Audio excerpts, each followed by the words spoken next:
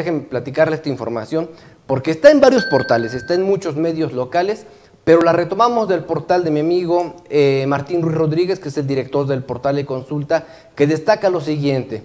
De acuerdo con la encuesta que realiza cada mes Arias Consultores, solo hay cinco gobernadores con peor aprobación que Marco Mena Rodríguez en el país, alcanzando el mandatario tlaxcalteca solo el 13.4% de la aprobación entre sus gobernados a poco más de un año y medio para que deje el poder que le heredó Mariano González Sarur. Por eso la retomé de consulta, ¿eh? porque usted no va a ver este tipo de información en otros lugares. Bueno, a lo mejor aquí sí, seguramente con nosotros sí. Bueno, también dice la información de consulta, el joven gobernador, es decir, Marco Antonio Mena, apenas tiene la aprobación del 13.4% de los tlaxcaltecas, mientras que el 69.7% no lo aprueba y para el 16.9% es indiferente su manera de gobernar Tlaxcala.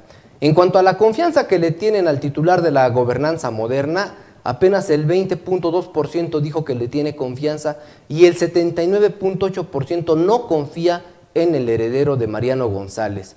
En relación a la mejora de la obra pública en la entidad, solo el 20% piensa que ha mejorado.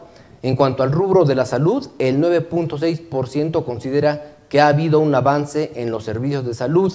De manera general, los números del gobierno local son un desastre y solo unos cuantos gobernadores son peor calificados que Marco Mena. Entre ellos, por cierto, digo, en el último lugar no podía ser otro, pues el gobernador de Morelos, don Cuauhtémoc Blanco, un excelente futbolista, un hombre que le dio mucho a la selección mexicana, pero que como gobernador, que como político, híjole, yo creo que es, si es como de tercera división, ahí en lo político Cuauhtémoc Blanco, y al menos, mire, ahí nuestro señor gobernador está en el lugar 27. A ver si lo presumen sus amigos, los columnistas, articulistas, las, los micrófonos que tiene comprados a través de la Coracid.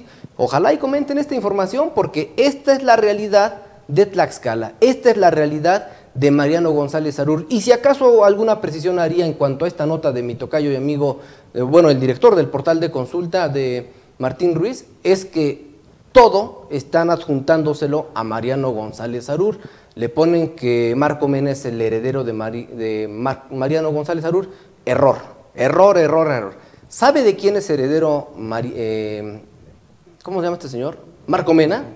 Marco Mena no le debe el gobierno a Mariano González Arur. Marco Mena le debe el gobierno a Mariano González Aguirre. Seguramente en el círculo cercano todos lo sabían. Pero para quienes todavía piensan que Mariano González Arur tuvo que ver en esta designación, en lo absoluto. El que estuvo empujando hasta el último minuto para que llegara Marco Antonio Mena al gobierno y nos tuviera en este lugar tan destacado, como peores gobernadores, fue Mariano González Aguirre.